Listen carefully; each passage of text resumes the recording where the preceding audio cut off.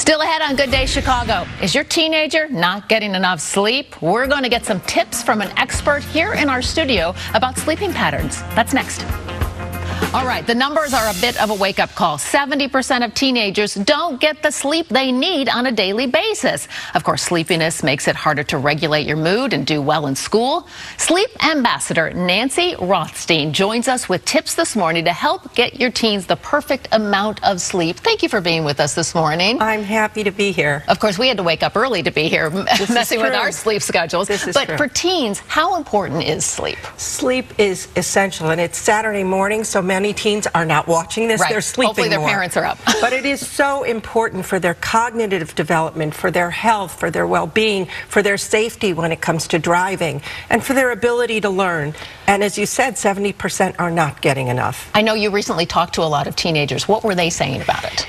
Teenagers actually, I think, want to get more sleep, but they are so glued to their phones. They're so busy. They're wired. They're tired. They don't know when to stop.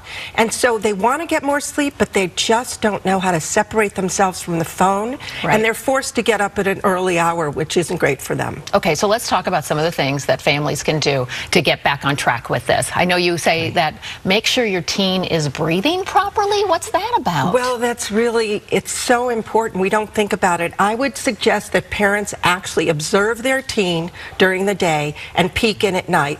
If they are breathing through their mouth, then they are not oxygenating properly. And we were meant to breathe through our nose. And it seems so obvious and so right. simple.